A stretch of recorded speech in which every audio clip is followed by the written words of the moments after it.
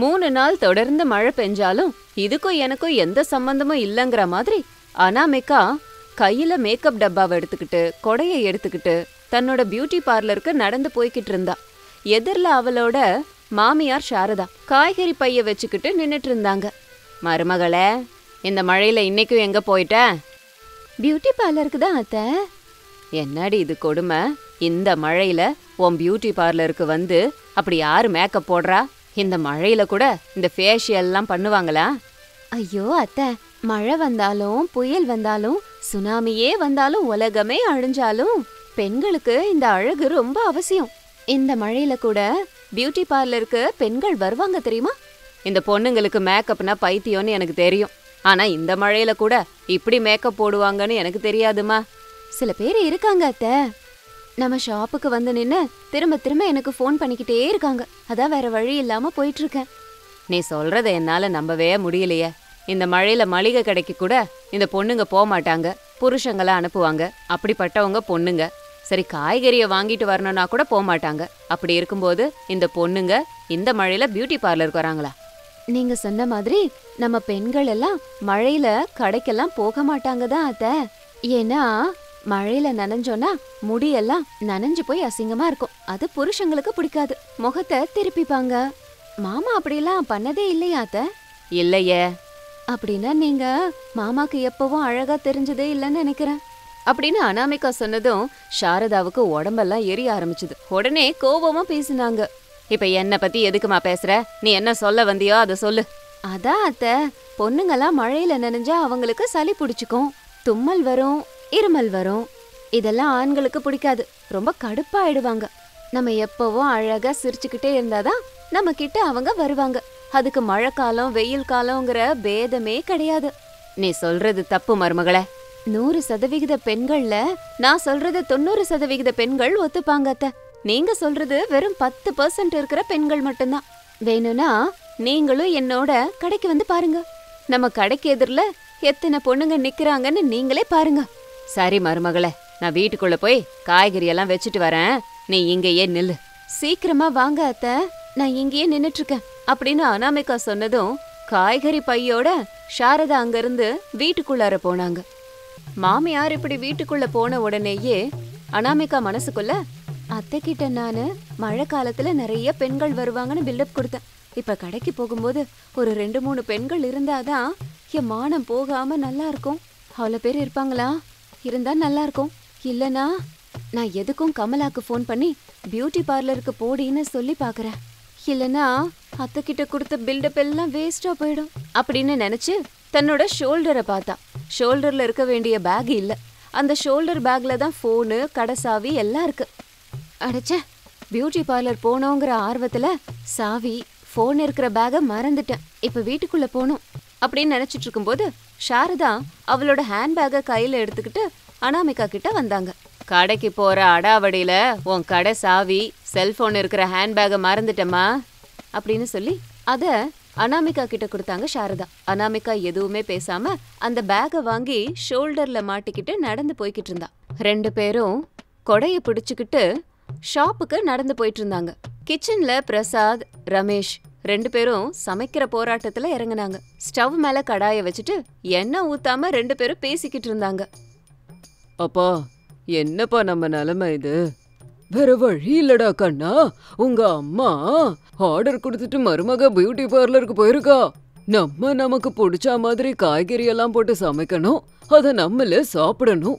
ஆமா இன்னைக்கு அம்மாக்கு என்னதான்ப்பா ஆச்சு? ஏன் அனாமிகா சொல்றத நம்பவே மாட்றாங்க? இதே கேள்வியை தான் நானும் உங்க அம்மாவை கேட்டேன். எங்க ரெண்டு பேருக்குள்ள இருக்கிற விஷயத்த பத்தி உங்களுக்கு என்ன கவலை? அப்படின்னு கேட்டுட்டா அவ. அது மட்டும் இல்லாம நம்மள சமைக்கவும் விட்டுட்டா.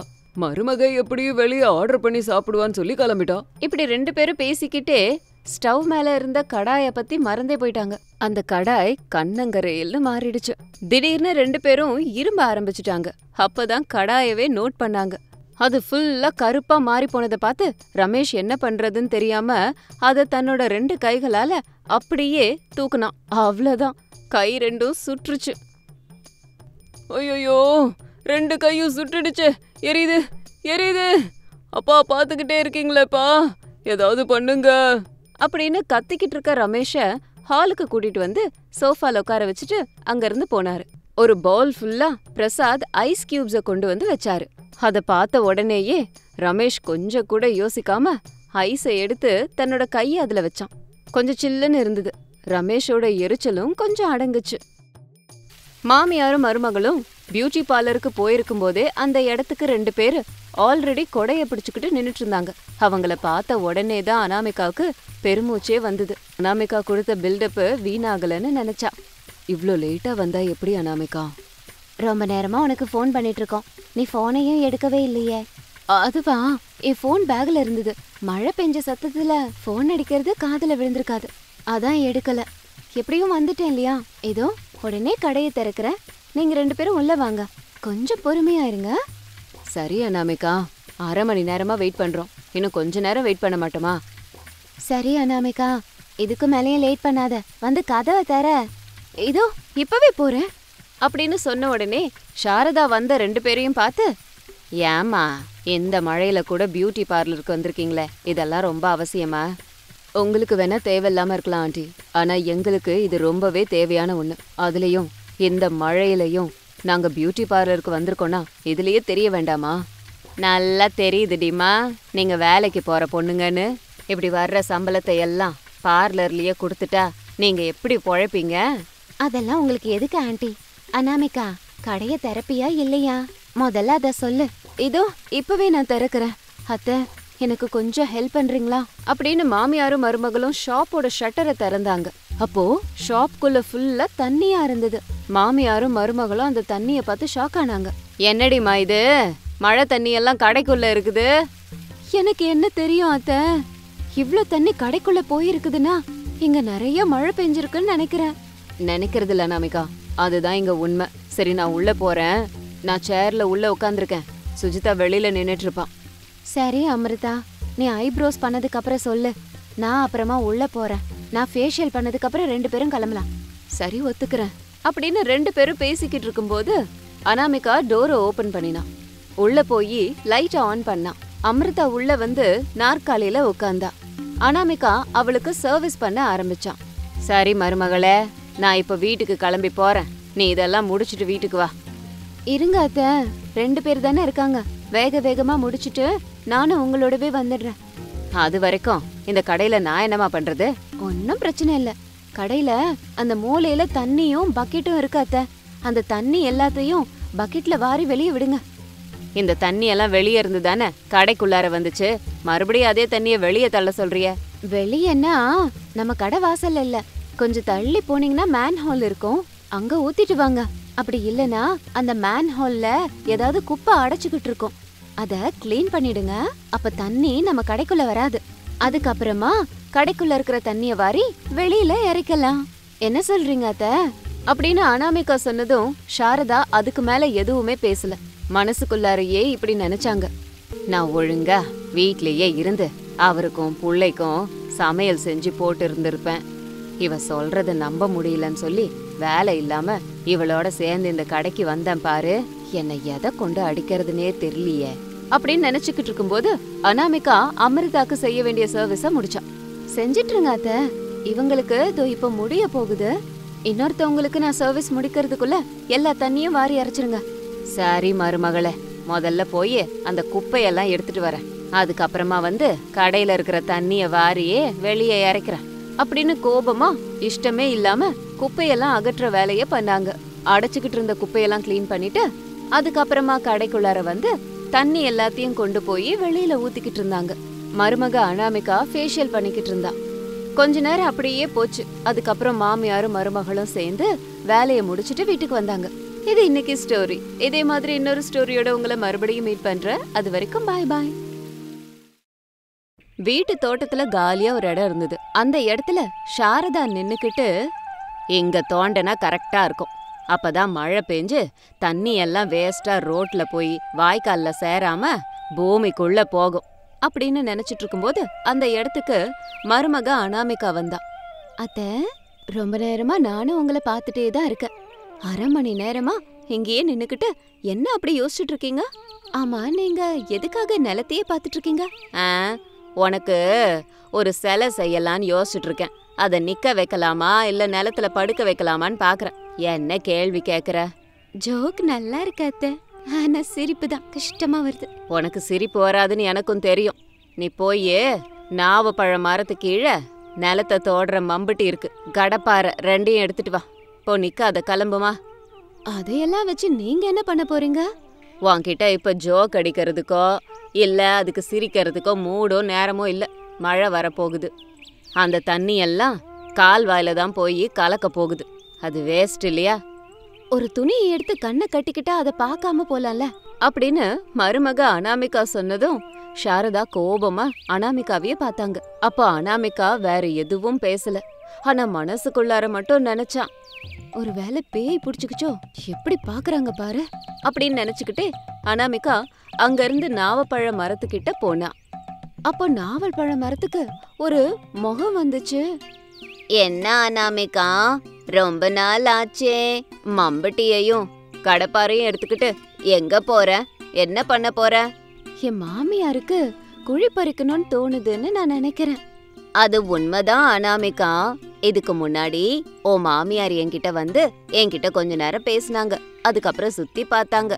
அதுக்கப்புறம் மனசுக்குள்ள நினைச்சாங்க. எதையாவது தொலைச்சிட்டியா சாரதான்னு நான் கேட்டேன். எதுவும் இல்லைன்னு சொல்லி கிளம்பிட்டாங்க. அப்படின்னா உனக்கு பக்கத்துல குழி வெட்டுறது நல்லா இருக்காதுன்னு அத்தை யோசிச்சிருக்காங்க. அதனாலதான் அங்க தோன்றாங்க. அப்படின்னு அனாமிகா சொல்லிட்டு இருக்கும்போது வீட்டு முன்னாடி நின்னுக்கிட்டு இருந்த சாரதா சத்தமா அனாமிகாவை கூப்பிட்டாங்க. அனாமிகா என்னடி பண்ணிக்கிட்டு இருக்க? ஆ இதோ வந்துட்டு இருக்கேன் அத்தை. சரி சரி அத்தை கூப்பிடுறாங்க. நான் அப்புறமா வந்து உன்கிட்ட பேசுறேன். சரி சரி கிளம்பு. சாரதாக்கு கோவம் வந்துருச்சுன்னா மனுஷியா இருக்க மாட்டான்னு சொல்ற அப்படின்னு சொன்னதும் அனாமிகா சிரிச்சுக்கிட்டே அங்கிருந்து மாமியார் சாரதா கிட்ட வந்தா. மரத்தோட மீட்டிங்லாம் முடிஞ்சிருச்சா? அதுதான் என்கிட்ட பேசுச்சு அத்தை. சரி சரி. நான் தோண்டிக்கிட்டே இருக்கேன். நீ மண்ணை அள்ளி போட்டுட்டு ஆ சரிங்க அத்தை. அப்படின்னு சொன்னதும் சாரதா தோண்ட ஆரம்பிச்சாங்க. அனாமிகா மண்ணை அள்ளி போட்டுக்கிட்டே இருந்தா. இப்படியே நேரம் போக போக மாமியாரும் மருமகளும் ஒரு குழிய தோண்டுனாங்க. கொஞ்சம் ரிலாக்ஸ் ஆகி இது போதும் அத்தை. இன்னும் கொஞ்சம் தோண்டலாமா? அப்படின்னு சொல்லி சாரதா இன்னும் தோண்டிக்கிட்டே இருந்தாங்க. ஏழு பவுன் இருக்கும். தங்க நகை வெளியில வந்தது. அந்த குழியே தகதகன்னு மின்னுச்சு. மாமியாரும் மருமகளும் அத ஆச்சரியமா பார்த்தாங்க. அந்த நகை ஒரு அற்புதம்னு தோணுச்சு. அத்த இவ்ளோ நகைய பார்த்தா இது கண்டிப்பா ஒரு ஏழு பவுனுக்கு மேல இருக்கும். எனக்கு அதை விட அதிகமா இருக்கும்னு தோணுது. அத்த இத கொண்டு போய் அடமானம் வச்சு பணம் வாங்கிக்கலாமா? ஏண்டி முதல்ல நகையை எடு வீட்டுக்கு போவோம். எங்க செவத்துக்கு கூட காது இருக்கு. யாராவது கேட்டா எதுவும் நல்லா இருக்காது வா அப்படின்னு சொல்லி ரெண்டு பேரும் நகையை எடுத்துக்கிட்டு உள்ள வந்தாங்க. கையோட நகையையும் வீட்டுக்குள்ள கொண்டு வந்தாங்க. பீரோல வைக்கலாம் அத்தை. பீரோல வைக்கிறது சேஃப் இல்ல. வீட்ல எங்க வச்சாலும் சேஃப் இல்ல. உன் புருஷனும் என் புருஷனும் இத பார்த்தா நம்ம சொல்றத கேட்காம நமக்கு திருட்டு பட்டம் கட்டிடுவாங்க. அது கூட நிஜம்தான் அத்தை. எங்க இருந்து திருடிட்டு வந்தீங்கன்னு நம்மளையே கேட்டு டார்ச்சர் பண்ணுவாங்க. அவங்க கிட்ட எதையும் சொல்லி புரியவே வைக்க முடியாது. அதனால இத போலீஸ் கிட்ட எடுத்துட்டு போய் கொடுத்துருவோம். அந்த இடத்துல யாராவது நகைய திருடிட்டாங்கன்னு நம்ம மேல பழிய போட்டா வருமா? நம்மள காப்பாத்துறது யாரு? அப்புறம் நம்ம நிலைமை? இந்த மாதிரி நேரத்துல நமக்கு உதவி பண்றது யாருன்னு சொல்லு. வேற யாரு? நம்ம நாவப்பழ மரம் தான் ஆமா மருமகளே நல்லா ஞாபகப்படுத்தின. நம்ம மரத்தோட பேசுற விஷயம் இன்னும் யாருக்கும் தெரியாதுல்ல? இந்த விஷயம் மாமாக்கும் அவருக்கும் கூட தெரியாதே. ஆமா தெரியாம இருக்கிறதே நல்லது. இப்போ நீயும் நானும் சேர்ந்து மரத்துக்கிட்ட போகலாம். வா. அப்படி மாமியாரும் மருமகளும் தங்க நகைகளை எடுத்துக்கிட்டு அந்த நாவல் பழ மரத்துக்கிட்ட வந்தாங்க. நாவல் பழ மரம் அவங்க கிட்ட பேசுறதுக்காக வந்துச்சு. மாமியார் மருமக கையில இருக்கிற நகைகளை பார்த்துச்சு அந்த மரம். என்னது இது? இந்த நகைகள் ஏது? மழைக்கு குழி தோண்டிக்கிட்டு இருக்கும்போது அதுல இது கிடைச்சுது. அப்படின்னா இந்த நகைகளை என்ன பண்ணலாம்னு நினைக்கிறீங்க? இந்த நகைகள் குழி தோண்டும் போது கிடைச்சதுன்னு சொன்னா யாரும் நம்ப மாட்டாங்க. இந்த நகைய கொண்டு போய் அடகு வைக்கலான்னு பார்த்தா இந்த நகையெல்லாம் ஏதுன்னு கேட்பாங்க அதுவும் சரிதான். இப்ப என்ன பண்ணலான் இருக்கீங்க? நீ ஒத்துக்கிட்டேனா உன்கிட்ட கொடுக்கலான்னு வந்தோம். இத நான் வச்சுக்கிட்டு என்ன பண்றது? தேவை ஏற்படும் போது ஒவ்வொரு நகையா கொண்டு போய் விற்போம் அப்படி நீங்க விக்கும்போது ஒரு தடவை இல்லைன்னா இன்னொரு தடவை. இதோட ஓனர் கிட்ட நீங்க மாட்டிக்க மாட்டீங்களா? யோசிச்சு பாருங்க. ஆமா அத்தை. இந்த மரம் சொல்றது கூட நிஜம்தானே? இப்ப என்ன பண்றது மருமகளே? அதான் எனக்கும் புரியல அத்தை. அப்படின்னு மாமியாரும் மருமகளும் யோசிச்சுக்கிட்டே இருந்தாங்க. ரொம்ப நேரமா அந்த நகையை என்ன பண்றதுன்னு யோசிச்சுக்கிட்டே இருந்தாங்க. நம்ம என்ன யோசிச்சாலும் என்ன பண்ணாலும் நிலத்துக்கு போன அவரும் புள்ளையும் வீட்டுக்கு வர்றதுக்குள்ள செஞ்சாகணும். அவங்க வீட்டுக்கு வந்ததுக்கு அப்புறம் நம்மளால எதுவும் பண்ண முடியாது. அப்ப நமக்கு இந்த மரம் தான் உதவி செய்யணும். நானா? உதவியா? இந்த நகையை என்கிட்ட வச்சுக்கோன்னு சொன்னா நான் வச்சுப்பேன். அவ்வளோதான். உதவினா உன்கிட்டயே வச்சுக்கிறது இல்ல. எங்களுக்கு வேணும்னா கொடுக்கணும். என்னால எப்படி இதை திருப்பி தர முடியும்? தங்க நாவல் பழம் மூலமா கொடு. என்னது? நான் தங்க நாவல் பழங்களை கொடுக்கணுமா? ஆமா. நீதான். மாய மரமாச்சே. உன்கிட்ட கொடுக்குற இந்த தங்க நகைகளை எடுத்துக்கிட்டு நாவல் பழங்களை தங்கமா எங்களுக்கு எப்போ வேணுமோ கொடுக்கணும். புரிஞ்சுதா? இப்போதைக்கு இந்த தங்க நகைகளை உன்கிட்ட நான் பத்திரமா இருக்கட்டும்னு கொடுக்குறேன். எனக்கு எப்பெல்லாம் வேணுமோ அப்பெல்லாம் இந்த தங்க நகைகளை பழமா எனக்கு கொடு. நான் இந்த உதவிய செய்ய மாட்டேன்.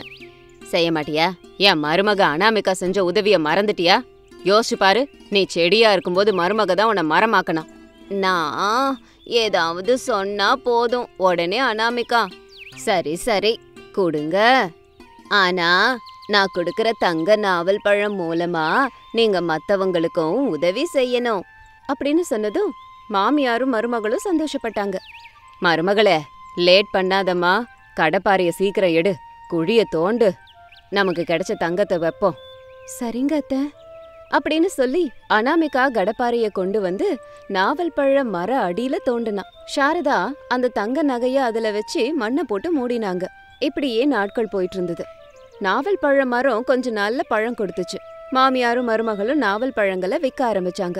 ஒரு நாள் மாமியாரும் மருமகளும் நாவல் பழத்தை விற்க போகும்போது கிழிஞ்ச துணிய போட்டுக்கிட்டு பதினேழு வயசு மதிக்கத்தக்க ஒரு பொண்ணு அங்க வந்தா.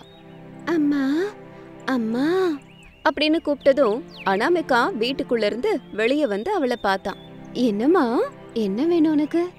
வீட்ல பழைய புத்தகங்கள் பழைய பேப்பர் ஏதாவது இருந்தா கொடுங்க ஆண்டி. அதை நான் கொண்டு போய் வித்துப்பேன் ஆண்டி. அதுல கிடைக்கிற பணத்தை கொண்டு போய் உங்க அப்பா கிட்ட கொடுப்பேன். அவர் ஃபுல்லா குடிச்சிட்டு ரோட்ல எங்கேயாவது விழுந்து கிடப்பாரு.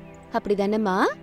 அது இல்ல ஆண்டி. அந்த பணத்தை வச்சு நான் புது புக்கெல்லாம் வாங்குவேன். நான் டென்த் கிளாஸ்ல நிறைய மார்க் எடுத்து ஃபர்ஸ்ட் வந்திருக்கேன். நம்பலன்னா போட்டோல என் பேரு போட்டோலாம் வந்திருக்கு. பாருங்க ஆண்டி. அப்படின்னு சொல்லி பழைய பேப்பரை காமிச்சா. உண்மையிலேயே அவளோட போட்டோ அந்த பேப்பர்ல இருந்தது. இவ்வளோ நல்ல மார்க் எடுத்திருக்கியேம்மா. ஏன் அப்புறம் படிக்கல? வறுமை தான் காரணம் கவர்மெண்ட் காலேஜில் சீட் கிடைச்சாலும் புக்ஸ் எல்லாம் வாங்குறதுக்கு பணம் வேணும் இல்லையா? அதை அவங்க தர மாட்டாங்களே ஆமால சரி சரி. இங்கே இரு. அப்படின்னு சொல்லி அனாமிகா வீட்டுக்குள்ள போனா. அந்த பொண்ணு நின்னுக்கிட்டு இருக்கும்போது மாமியார் சாரதாவை கூப்பிட்டுக்கிட்டு அனாமிகா வெளியே வந்தா. அத்த நான் சொன்னது இந்த பொண்ணை பத்தி தான் அப்படின்னு சொன்னதும் சாரதா அக்ஷயாவை பார்த்தாங்க. நீ நல்லா படிப்பியாமா படிப்பேன் ஆண்டி. அப்படின்னா நாங்க உங்களை படிக்க வைக்கிறோம். இப்ப நீங்க நல்லா சாப்பிடுங்க. சரியா? அப்படின்னு சொல்லி அக்ஷயாவை வீட்டுக்குள்ள கூட்டிட்டு போய் சாப்பாடு போட்டாங்க. அவளும் வயிறார சந்தோஷமா சாப்பிட்டு தூங்குனா. அப்போ மாமியாரும் மருமகளும் அந்த நாவல் பழ மரத்துக்கிட்ட வந்து விஷயத்த சொன்னாங்க. அப்ப அந்த நாவல் பழ மரம் சாதாரண பழங்களோட சேர்த்து தங்க பழங்களையும் காய்க்க வச்சுது. மாமியாரும் மருமகளும் அதை கொண்டு போய் மார்க்கெட்ல வித்து அக்ஷயா மாதிரி ஏழை குழந்தைங்கள படிக்க வச்சாங்க. இப்படி மாமியாரும் மருமகளும் செஞ்ச நல்ல காரியத்தால நாவல் மரம் தங்க நாவல் பழங்களை கொடுக்கற மரமா அவங்களுக்கு உதவி செஞ்சுது. இது இன்னைக்கு ஸ்டோரி இதே மாதிரி இன்னொரு ஸ்டோரியோட உங்களை மறுபடியும் மீட் பண்றேன். அது வரைக்கும் பாய் பாய்